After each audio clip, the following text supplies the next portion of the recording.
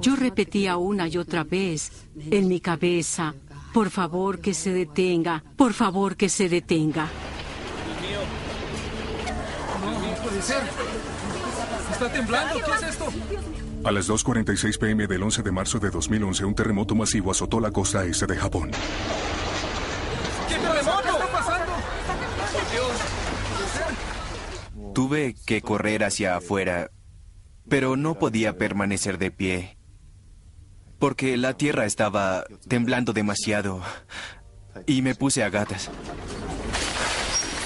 Este terremoto fue extremadamente largo, así que siempre pensé que un tsunami podía seguir. Después de todo esto, El terremoto disparó el mayor tsunami en la historia de Japón. ¿Qué es esto? ¿Qué está pasando? Es increíble. Se ha desbordado. No lo puedo creer. Es increíble, mira. salir de aquí. 20.000 personas murieron o continúan desaparecidas.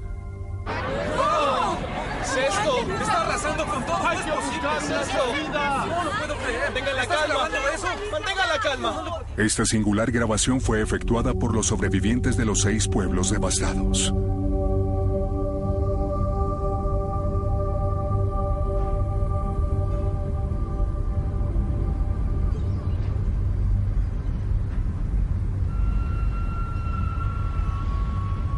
Es su historia, contada en sus propias palabras, videos y fotografías.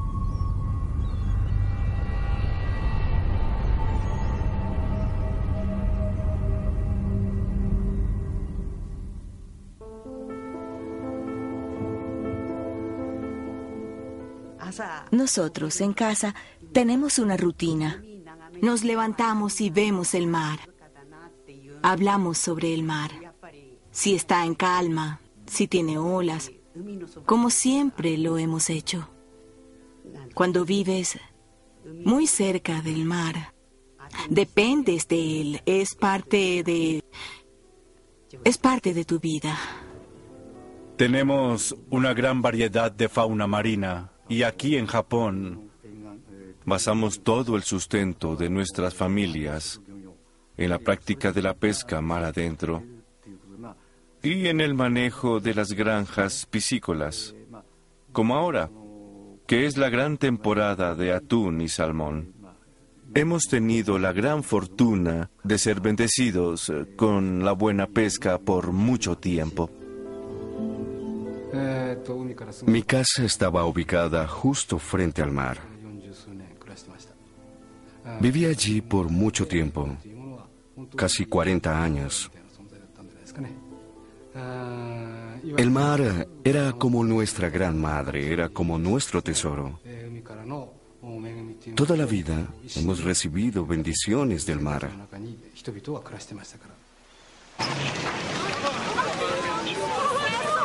El mar no siempre ha sido benigno. Las actuales defensas costeras se construyeron después del tsunami de Chile en 1960.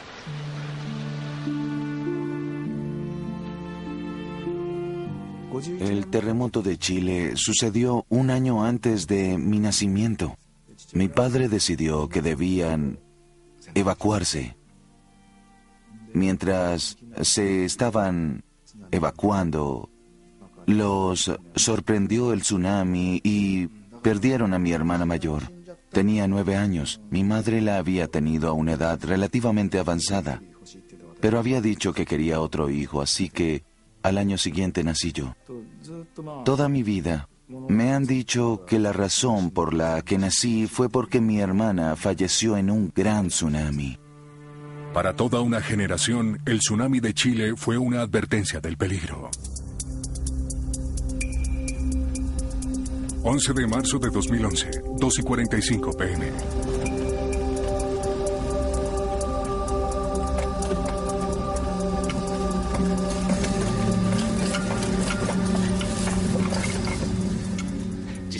Cuando se inició el terremoto, acababa de salir de mi casa y estaba conduciendo.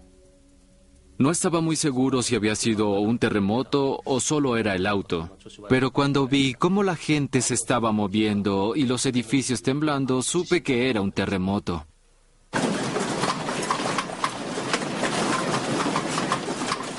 De pronto el salón comenzó a temblar. Sostuve mi computadora para que no se cayera y esperé a que pasara el temblor. Pensé que se aproximaba un tsunami. Comencé a gritar a la gente en la oficina para que corrieran a buscar un resguardo, tan pronto como les fuera posible para salvar sus vidas. Vamos todos. Vamos. Un tsunami se aproxima. Viene un tsunami. Evacúen todos, por favor. Apaguen las luces y salgan. Evacúen.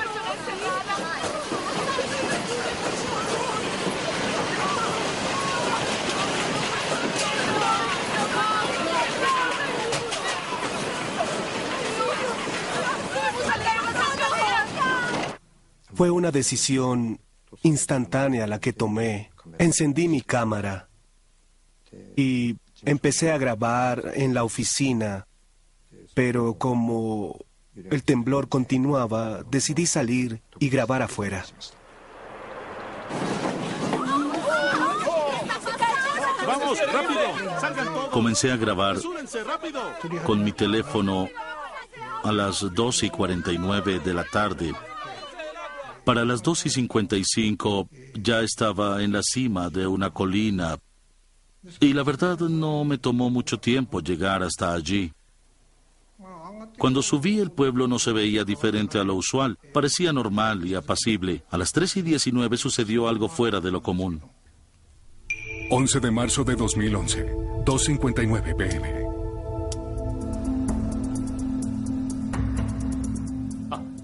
Vi la información retransmitida al sistema de navegación de mi auto. Pero yo originalmente soy de un área continental, así que no tuve el sentido común de saber que hay peligro de tsunami después de un terremoto. Todo parecía muy normal. Ocurrió algo que se llama psicología de masas. Había mucha gente allí, así que parecía un lugar muy seguro. No parecía que sobrevendría un tsunami. No creo que nadie lo supiera. Kamaichi. Mientras yo estaba filmando, no pensaba en el tsunami. Un camión de bomberos estaba recorriendo el área, diciéndole a la gente que había que evacuar. Los lugareños comenzaron a buscar terrenos más altos. En ese momento, lo, lo que los lugareños hicieron después del terremoto fue abandonar sus casas. Escuchaba comentarios como, el lugar más cercano para evacuarnos es esa colina de allá. Muy bien, entonces vamos. La gente que había llegado a la cima de la colina estaba mirando hacia el mar, apuntando al océano y preguntándose, ¿es eso un tsunami? Estaban instando a la gente a darse prisa y dirigirse a la colina lo más rápido posible. Cuando estaba en mi auto, había mucha gente todavía caminando. Abrí la ventana y grité con todas mis fuerzas que un tsunami se estaba aproximando. ¡Un tsunami se acerca! ¡Un tsunami se acerca! 22 minutos después del terremoto, Kamaishi fue el primer pueblo en ser azotado. Por favor, evacúense a terrenos más altos de inmediato. Mantengan la calma. Cuando miré en dirección al río, el agua había subido tanto que parecía estar justamente a mi lado. Todo sucedió con mucha rapidez. La corriente se dirigía hacia atrás y el tsunami inundaba la ciudad completamente en cuestión de segundos. ¡Corran! ¡Deprisa, deprisa! Desde el punto en donde vi el tsunami hasta el punto en el que llegué a la cima y vi el pueblo, todo fue completamente diferente. Había demasiada agua. Sentí que todo había pasado en un instante.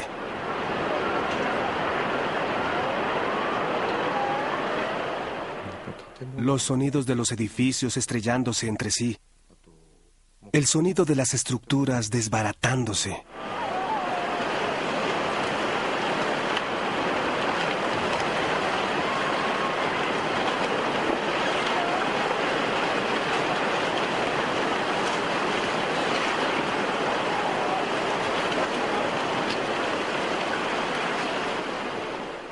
No hay manera de describirlo.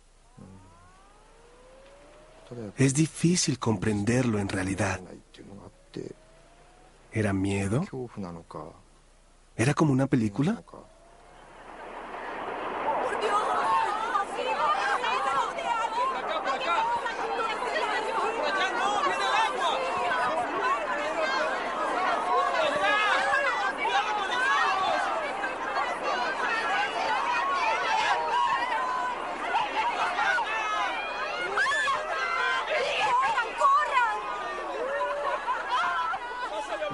Las personas que habían estado trabajando apaciblemente solo una hora antes, la gente que vivía en esta zona se dio cuenta que toda su ciudad había desaparecido en apenas unos segundos. Su vida nunca volvería a ser igual.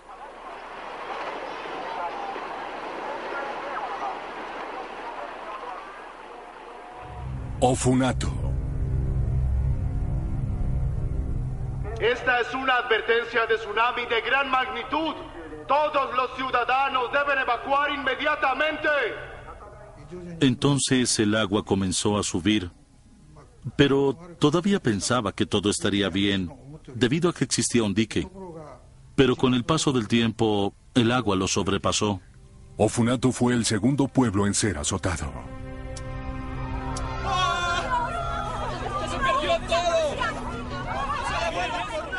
Vi lo que había sucedido después del terremoto de Chile. Todo lo que podía hacer era recordar esas imágenes. Sabía que algo malo iba a suceder. En realidad,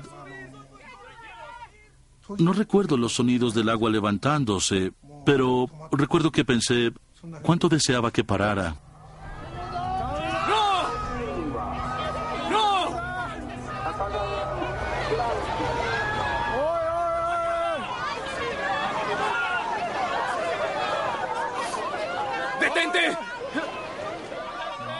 No había nada que pudiéramos hacer excepto rezarle a Dios.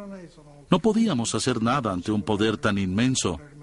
No había nada más que hacer excepto gritar y lamentarnos. No podíamos contenernos. Estábamos ante una tragedia.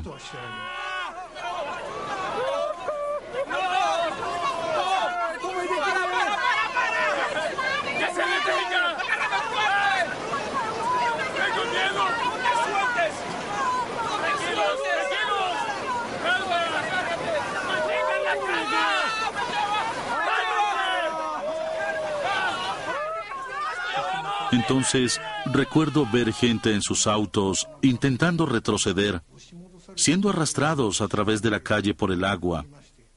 Vi cosas tan terribles como esas, pero sabía que todo iba a empeorar. A medida que el agua subía, las casas y la gente, todo era barrido y arrastrado. Era algo increíblemente triste.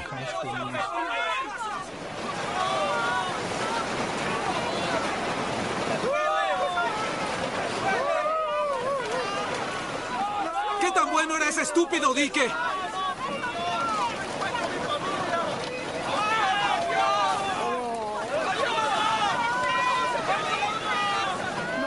¿Qué tan bueno era?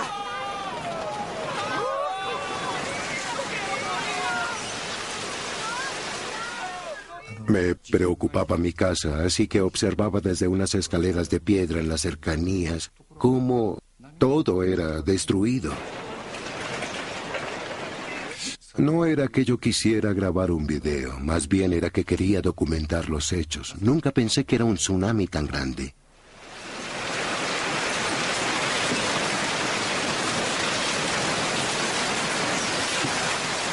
Luego vi mi casa y mi auto arrasados. El vecindario rápidamente fue engullido.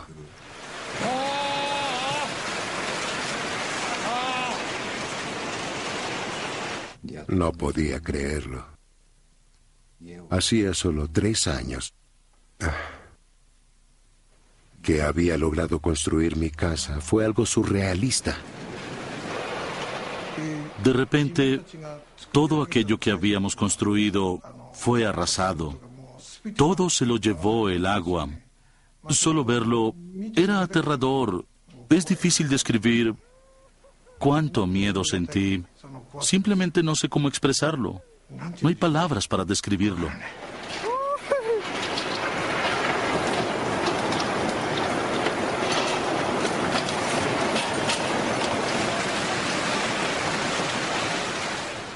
Nunca experimenté este tipo de conmoción.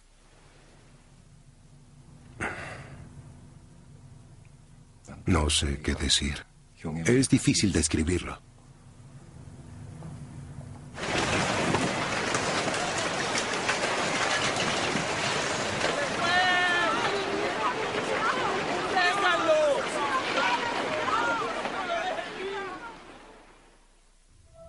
Minami Sanriku.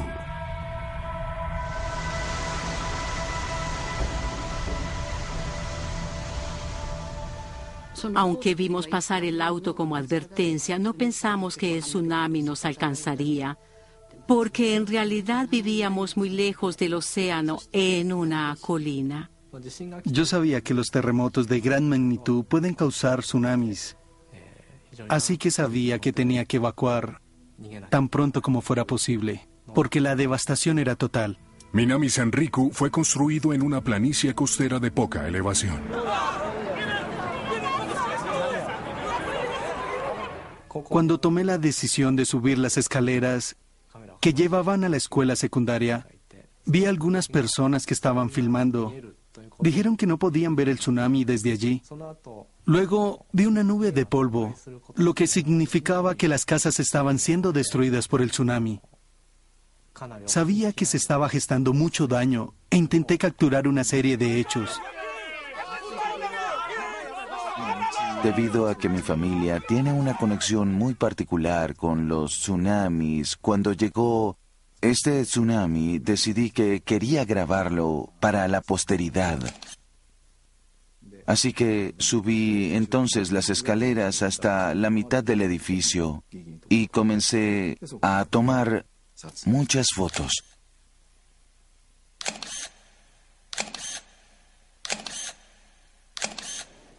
Todo esto lo observé a través del visor. Cuando miré a la estación de trenes, vi un edificio flotando allí. ¿Dónde iba a detenerse? Todavía tenía en mi cabeza que mi casa se salvaría, pero el agua seguía cayendo. Me decía a mí mismo, ¿todavía hay más?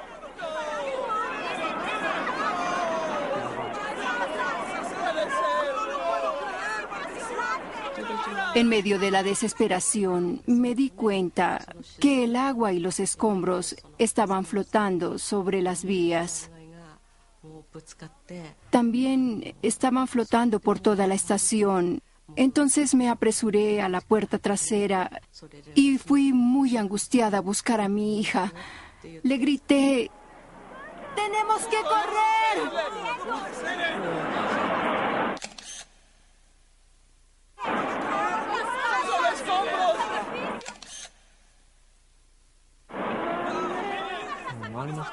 La mayoría de la gente estaba tan conmocionada y atónita, mientras otros estaban histéricos, porque los miembros de sus familias no habían salido de sus casas cuando azotó el tsunami. Fue algo muy terrible.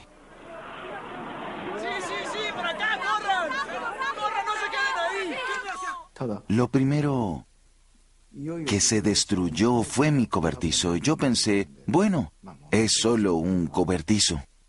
Al menos la casa está bien. Y justo cuando pensaba eso, mi casa fue arrasada.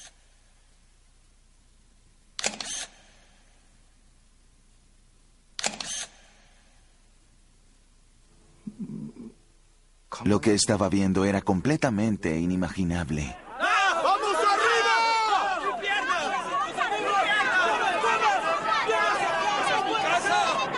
¡Vamos, vamos!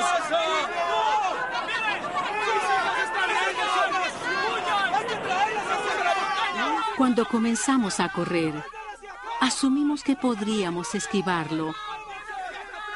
Pero lo que sucedió fue que la ola nos engulló completamente. Yo estaba desesperada. Afortunadamente para mí, poco después de ser tragada por la ola, un techo a la deriva llegó hasta mí y quedó debajo de mi cuerpo, como si tratara de mantenerme a flote. ¡Oh, Dios mío, la va a atrapar! ¡Rápido! Yo estaba encima del techo y la ola me estaba arrastrando hasta la escuela secundaria. Yo trataba de sostenerme y la ola me arrastraba mientras estaba sobre el techo. Pero las personas que estaban protegiéndose al verme me alaron.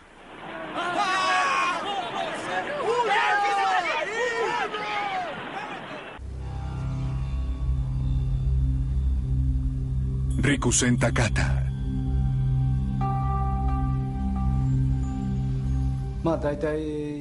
En ese momento la mayoría de los residentes ya estaban en las áreas de evacuación de emergencia. Yo estaba en el camión de bomberos y estaba dirigiendo a la gente por altavoz.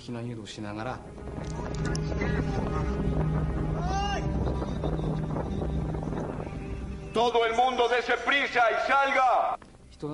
Después de un rato, conduje hacia el dique y verifiqué el nivel del agua desde el tope de la esclusa.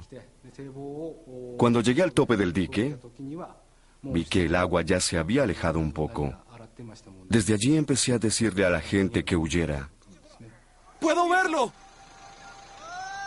Un tsunami ha sido avistado. ¡El tsunami se aproxima muy rápido! ¡Vaya! Todo aquel que esté cerca de la costa debe evacuarse de inmediato. Rikusen Takata también fue construida en una amplia y vulnerable planicie costera. Una vez que las olas chocaron contra la parte inferior del dique, el agua azotó contra los lados de repente. ¡Oh, está sobrepasando el muro! Probablemente en ese momento solo tuve cinco segundos para escapar. Si me hubiese subido al camión 20 segundos más tarde, estoy completamente seguro que hoy no estaría aquí.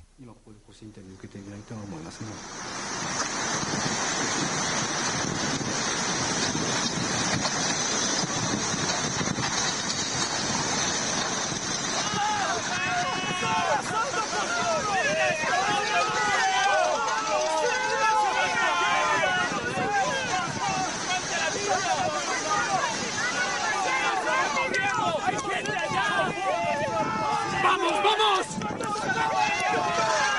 ¡Adelante!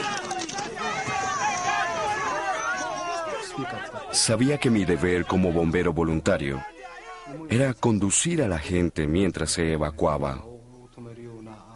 Pero no apagué la cámara. Lo que sucedía allí era aterrador. En realidad no estoy seguro de por qué seguía filmando.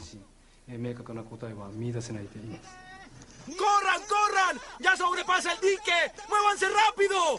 ¡Rápido!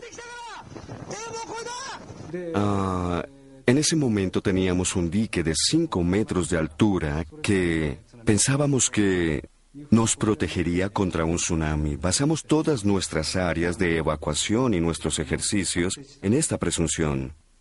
Esta es una advertencia importante de tsunami. Repito, esta es una advertencia importante de tsunami.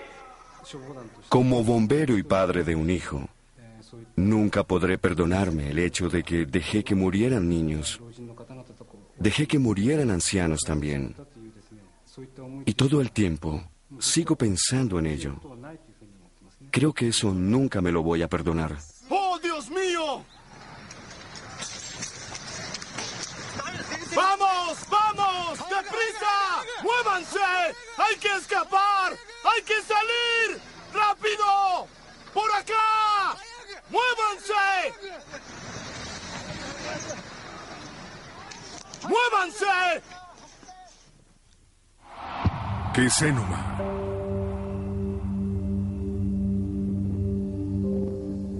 Sabíamos que un tsunami se aproximaba, podíamos sentirlo. De pronto se hizo el silencio más grande. Es difícil imaginarse un silencio tan repentino. Era como si todo el sonido hubiera desaparecido. Recuerdo ahora lo ominoso que fue.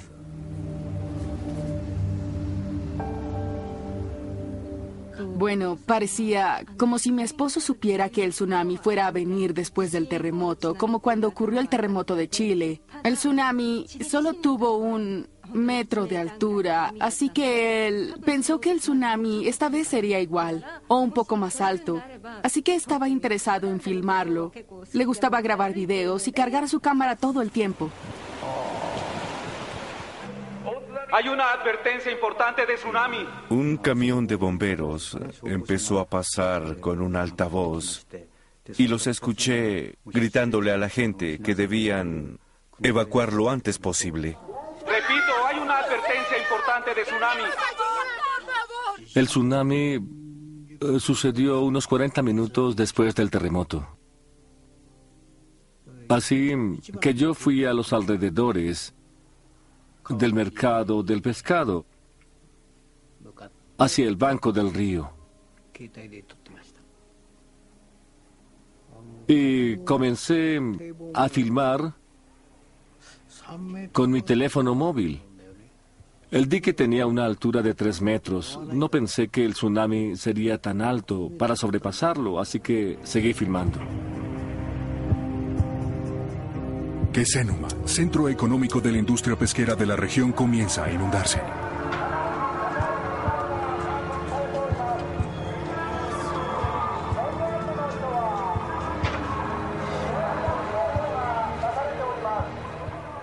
No pensé que sería un tsunami tan grande.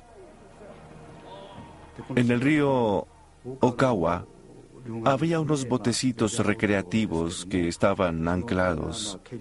Los botecitos fueron empujados y hacían un ruido estremecedor cuando chocaban entre sí.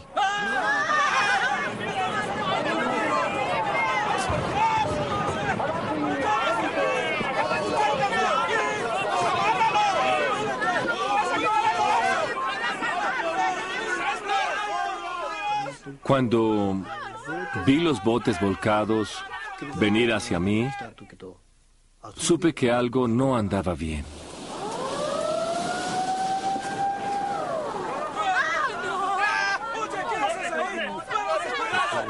Recuerdo muy bien ese momento. Toda la gente que andaba cerca gritaba, deprisa, deprisa.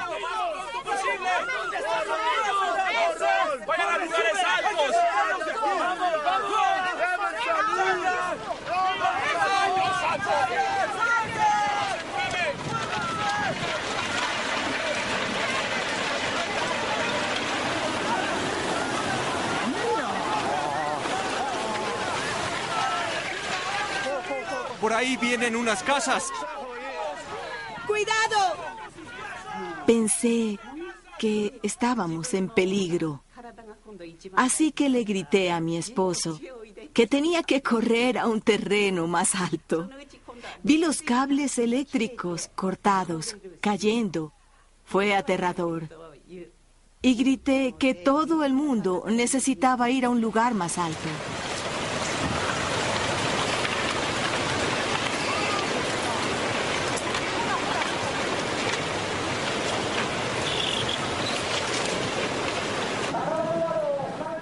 Me dirigía a las escaleras de emergencia de la escuela. Era cerca del río y cuando eché un vistazo pude ver que el agua sobrepasaba el banco.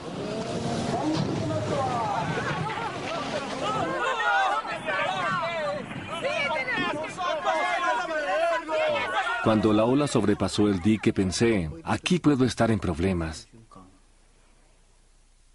Sin embargo, no estaba preocupado, porque pensé que solo sería un poco de agua la que entraría. Pero estaba equivocado, ya que una gran cantidad nos azotó de repente. Yo estaba en mi bicicleta y me dirigía en ese momento a la secundaria. No solo estábamos corriendo, también estábamos corriendo por nuestras vidas. Está cerca, por favor vayan a terrenos más altos. En lo que comenzó la inundación, comencé a subir por las escaleras. Seguía subiendo mientras filmaba lo que estaba detrás de mí. Todo pasó tan, tan rápido que si yo hubiera ido más lento, creo que no hubiese sobrevivido.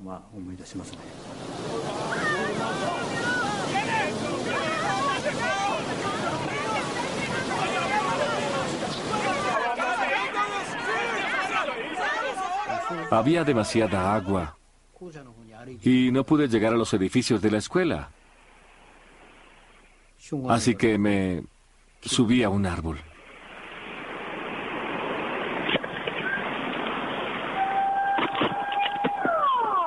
En Kesenuma nadie estaba preparado para la velocidad y fuerza del tsunami.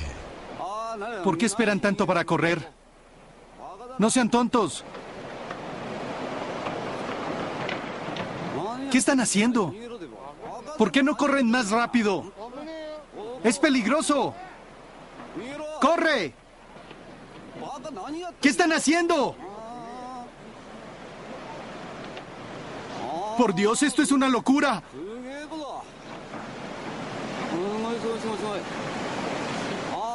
¡Oh, el auto! ¡Qué idiotas son! ¿Qué están haciendo? ¡Oh, Dios mío! ¡Qué idiotas son! ¡Oh, no! ¡Mira!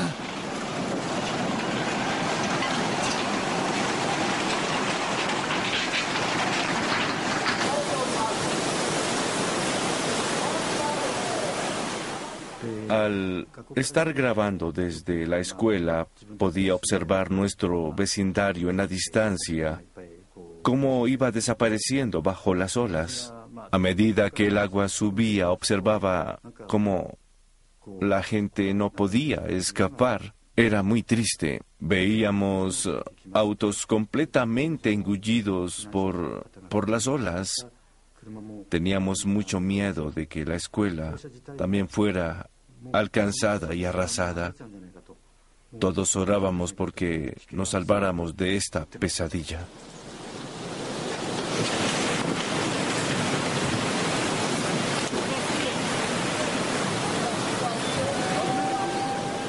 En ese momento nos sentíamos totalmente impotentes.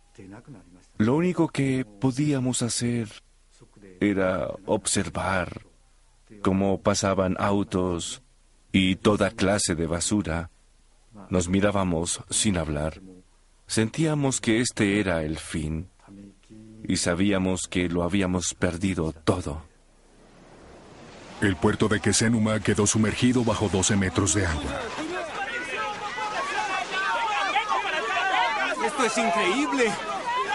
¡Miren cuánta destrucción! Sentí el terrible poder de la naturaleza. No esperaba que la naturaleza fuera tan aterradora y que pudiera cambiar tantas cosas. Todo lo que podía hacer era observar lo que estaba sucediendo. Era horrible, no sabía qué decir.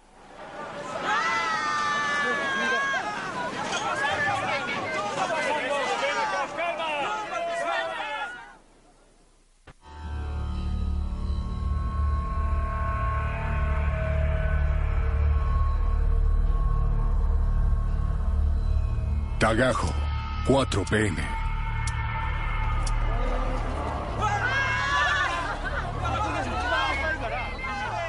Todo el mundo miraba en dirección del muelle y gritaba. Por un segundo había olvidado que tenía mi cámara conmigo.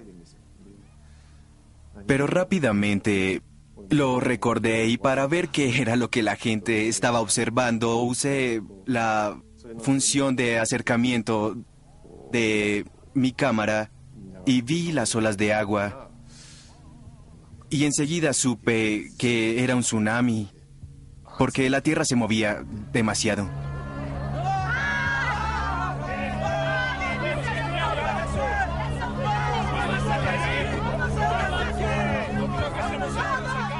Vi pilas de autos engullidos por las turbias aguas y dirigiéndose hacia nosotros muy rápidamente. Todo pasó muy rápido y, para ser honesto, no esperaba que el agua llegara hasta donde yo estaba.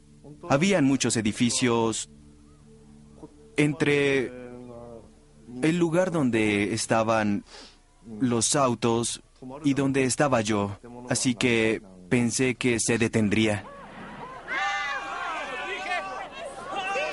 Nunca se me ocurrió que un tsunami pudiera alcanzarnos.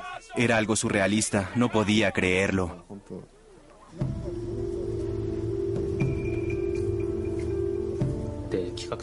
Había una carretera amplia en medio del pueblo. Nunca te hubieras dado cuenta de que en realidad esta era un área costera. Y justo antes de que nos azotara, la policía estaba allí dirigiendo el tráfico.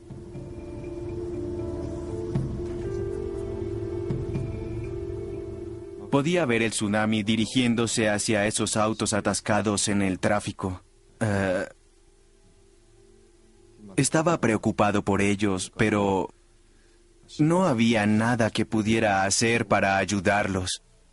Algunas personas estaban gritando a todo pulmón para advertir a la gente en los autos que estaban abajo, pero ahora que lo pienso, no podrían haberlas escuchado.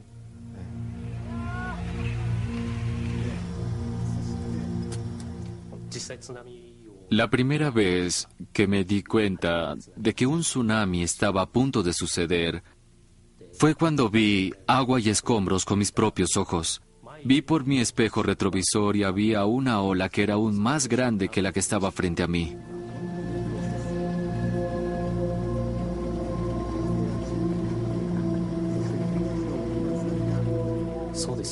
La gente salía a toda prisa de sus autos. Supongo que así es como debe ser. Creo que todo el mundo estaba en pánico. Fue increíblemente rápido. Probablemente tomó solo 10 o 20 segundos del momento en que el agua chocó con mi auto al momento en que mi auto fue arrasado.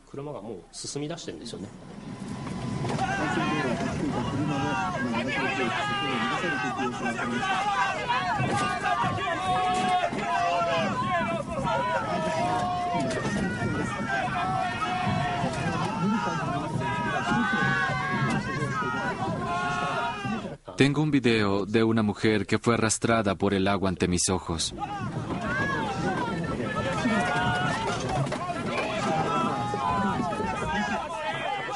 En ese momento pensé que iba a morir. Fue muy extraño, pero no sentí nada de pánico. Estaba totalmente calmado. Pensé, así están las cosas, así que puedo hacer todo lo que esté a mi alcance. Decidí sentarme dentro y esperar. Pensaba que incluso si mi auto era arrastrado por el tsunami, podría aterrizar en algún lugar y flotar hasta un sitio seguro.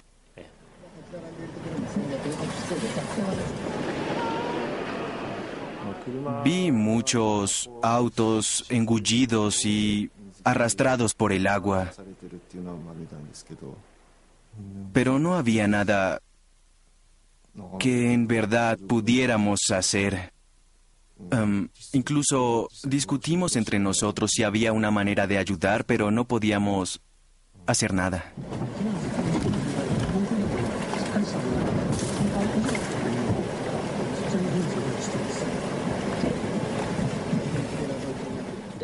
En mi mente pensaba que usaría el auto para protegerme mientras me fuera posible, que el auto flotaría hasta un lugar seguro, o si eso era imposible, que en lo que tuviera oportunidad, saltaría y flotaría hasta un lugar más seguro. Me imaginé que tendría que nadar para ello.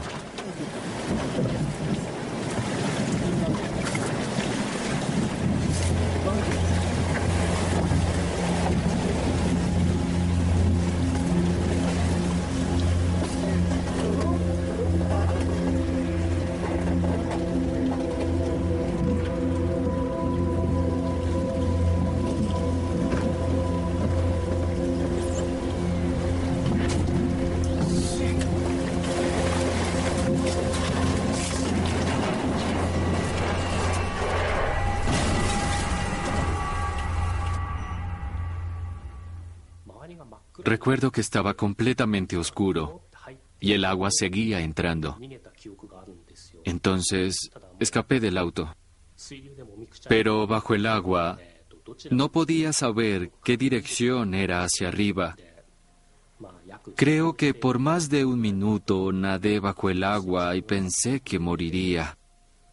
Finalmente, mi cabeza alcanzó la superficie. Y fue cuando al fin pude respirar. Noche del 11 de marzo de 2011.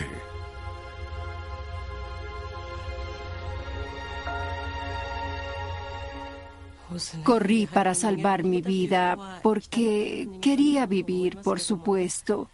Mi primo tenía un hijo que era miembro de la alcaldía y desafortunadamente perdió la vida en el edificio del ayuntamiento. Es muy difícil para nosotros soportar su pérdida. Casi siento pena por haber vivido mientras su hijo no pudo lograrlo. Sentí que no nos quedaba nada.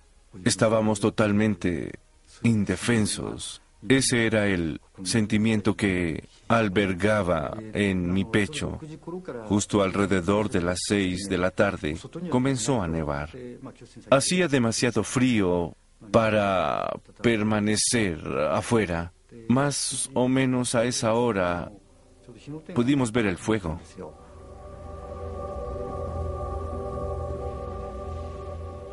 Parecía como si todo Kesenuma estuviese consumiéndose por las llamas. Incluso desde el techo de la escuela parecía que estábamos frente al fuego. Era como estar en el infierno. Pensamos que cualquier persona que hubiera sobrevivido al tsunami con seguridad moriría a causa de las llamas.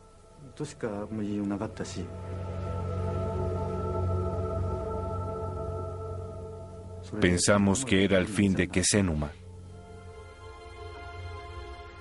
Más de 40 personas de nuestro vecindario perdieron la vida. También era muy duro ver a las mujeres que habían perdido a sus hijos. Sabían que sus hijos se habían ido, pero muchas no podían abandonar la esperanza de que tal vez estuvieran ocultos en algún lugar en las montañas o a buen resguardo en otro sitio. Pasaban las noches en vela esperando el regreso de sus hijos y eso era lo más difícil de ver.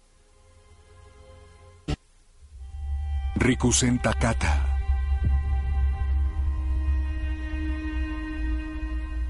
Hubo unas 40 áreas de evacuación que fueron arrasadas.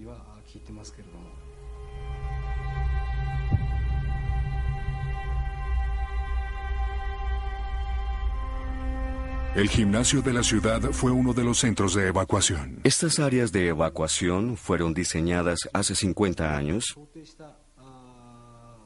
cuando el pueblo asumió que podría ocurrir un tsunami en la misma escala del que hubo cuando el terremoto de Chile.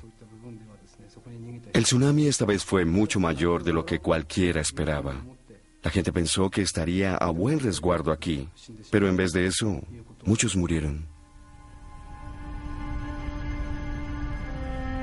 En este edificio, 80 personas perdieron la vida. Cuando pienso en la gente que perdió a su familia, a sus seres queridos y en las áreas de evacuación, siento mucha pena.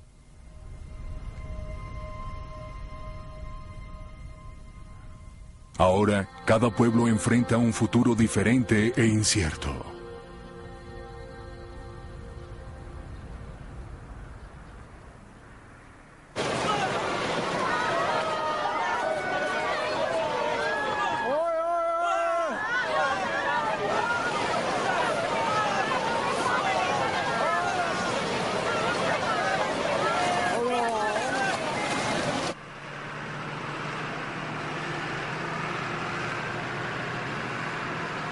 Ofunato.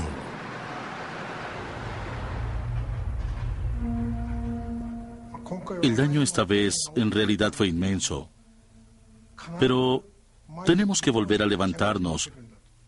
Y más erguidos de lo que lo hicimos antes. Debemos estar mentalmente preparados para eso viviendo aquí. Construir casas y fábricas. Todo el mundo sabe que hacer esto nos pone en permanente riesgo. Tarde o temprano un desastre va a suceder. Y cuando eso ocurra, tenemos que reconstruir. Es algo de lo que estoy absolutamente convencido.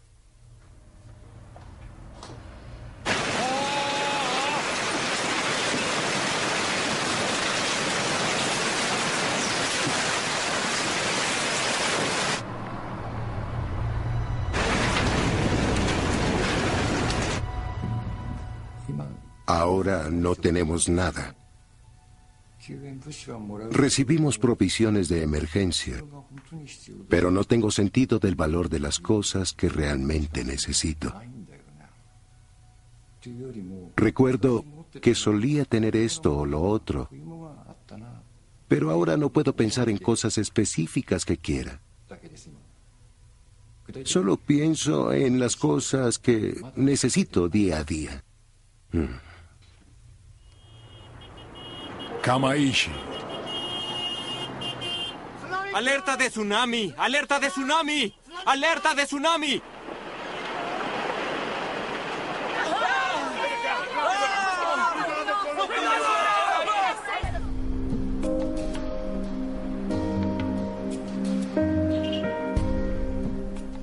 El ser humano es fuerte. El instinto de supervivencia es fuerte. Creo que la ciudad, sin dudas, se va a recuperar.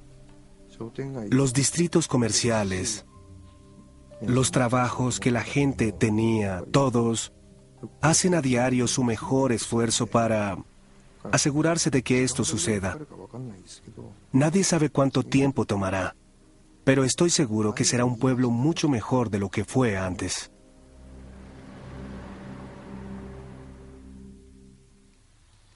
Minami Sanriku.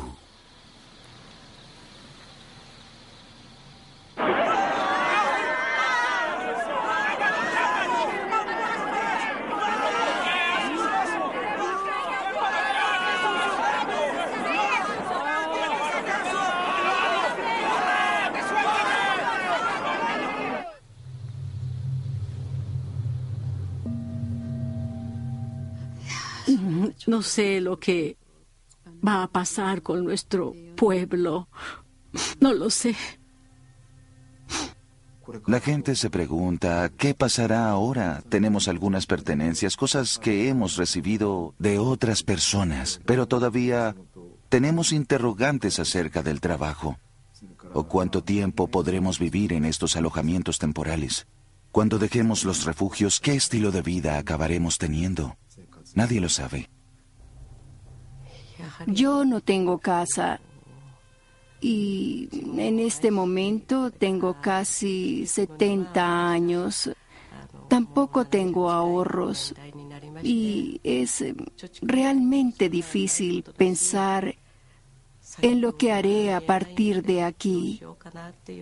Creo que todo el que perdió su casa piensa lo mismo que yo cada día que pasa.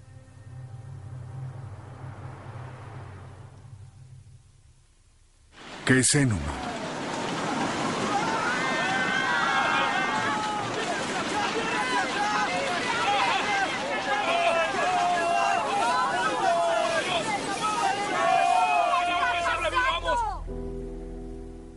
Dicen que a un lugar como Quesenuma le llevaría al menos 10 años recuperarse.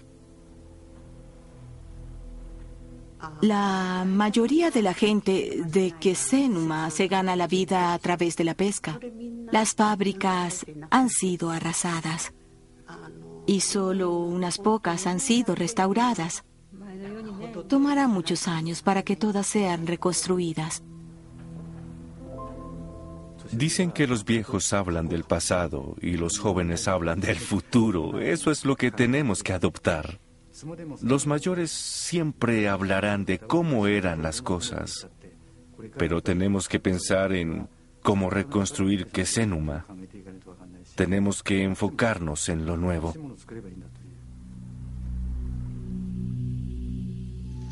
Rikusen Takata.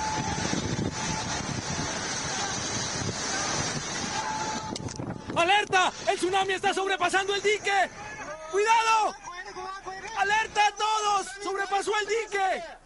Creo que de ahora en adelante debo vivir con el peso de esas vidas sobre mis hombros. Me siento responsable de eso. Y siento la responsabilidad de construir un pueblo nuevo.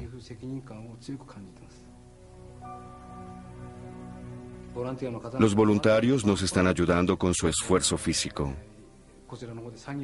Pero al mismo tiempo necesitamos apoyo para encargarnos de la salud emocional de la gente.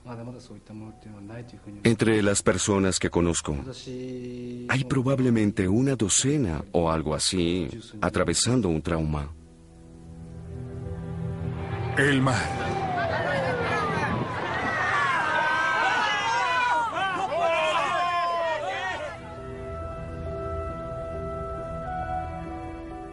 Aquí es donde nací y me crié. Cuando subo a las montañas me doy cuenta de que no me he podido adaptar a ellas. Que Senuma es de donde puedo ver el Pacífico.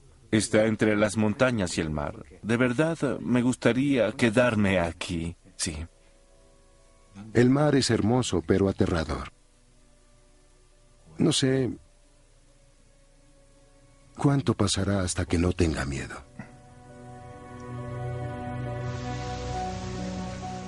Nuestro pueblo se cubrió de agua y fue tragado completamente por el potente tsunami. Honestamente, no sé por qué sucedió. Fue algún tipo de retribución. Porque Dios se enojó con nosotros. Porque éramos demasiado felices y trato de entender qué fue lo que sucedió. Mis sentimientos hacia el mar no han cambiado. Creo que normalmente es muy benévolo. Nos ayuda. Y nos ha ayudado por muchos años. No siento que lo desprecie. Con este desastre, creo que fuimos nosotros los que cometimos el error al habitar un área vulnerable a los tsunamis. Pero al mismo tiempo necesitamos pensar en un modo de prevenir que algo similar vuelva a suceder, porque no estoy seguro que podamos soportar otra tragedia igual. No sé si tengamos otra oportunidad de sobrevivir a algo así.